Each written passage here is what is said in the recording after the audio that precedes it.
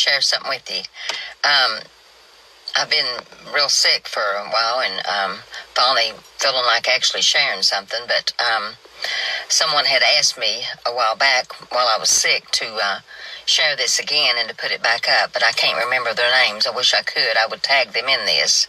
But um, I'm going to share it in honor of my mother, who was gone a year March 1st. Um, I hope it'll bless you. It's our time in history. The paradox of our time in history is that we have taller buildings, but shorter tempers, wider freeways, but narrower viewpoints. We spend more, but have less. We buy more, but enjoy less. We have bigger houses, but smaller families. More conveniences, but less time. More degrees, but less sense. More knowledge, but less judgment. More experts, yet more problems. More medicine, but less wellness. We drink too much, smoke too much, spend too recklessly, and laugh too little. We drive too fast, get too angry, stay up too late, get up too tired, and read God's Word too little. We watch TV too much and pray too seldom. We've learned how to make a living, but not a life. We've added years to life, but not life to years. We've been all the way around the world and back, but we have trouble crossing the street to meet a new neighbor.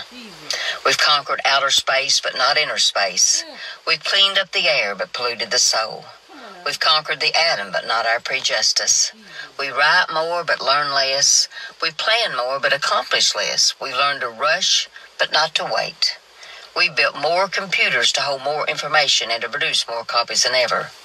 But we communicate less and less. These are the times of fast food and slow digestion. Big men, but small character. Steep profits, but shallow relationships. These are the days of two incomes, yet more divorces. Fancier houses, but broken homes. These are the days of quick trips, disposable diapers, throwaway mortality, one night stands, and pills that can do everything from cheer to quiet to kill. It's a time when there's much in the showroom window, but nothing in the stockroom. It's a time when technology can bring you this message. And a time when you can choose to either share this insight or just hit delete. So just remember spend some time with your loved ones because they won't be around forever. Remember to say a kind word to someone who looks up to you in awe because that little person will soon grow up and leave your side. Remember to give a warm hug to the one next to you because that's one treasure you can give from your heart that doesn't cost you a cent. Remember to say I love you to your partner to your loved ones. But most of all, when you say it, mean it.